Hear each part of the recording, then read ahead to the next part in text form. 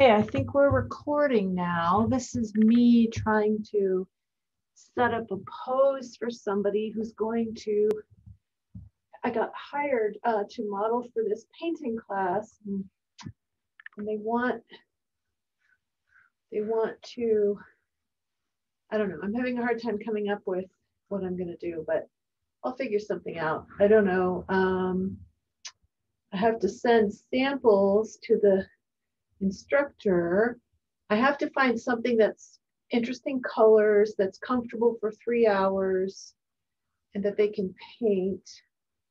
I usually don't pose in heels. I don't think the colors quite work on this, but I'm just trying some ideas. um, yeah, this is like my webcam that I'm shooting with, and then I'm going to send the instructor sample photos that I take with my smartphone. So they're not going to quite look the same.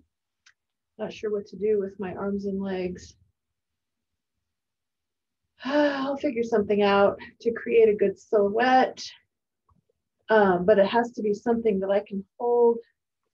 See, they want to see uh, negative shapes between my arms and my legs. So I have to figure out how to, I think these shoes are kind of silly. These are heels I got at the thrift store that I never wear, but I don't think they quite work. I don't know. I think I'm gonna have to play around with some more ideas. Just trying to get like contrasting colors and negative shapes. Maybe something like that might work better. So I'm just, this is Shannon Kringen art model in Seattle, just playing around with my webcam setup here.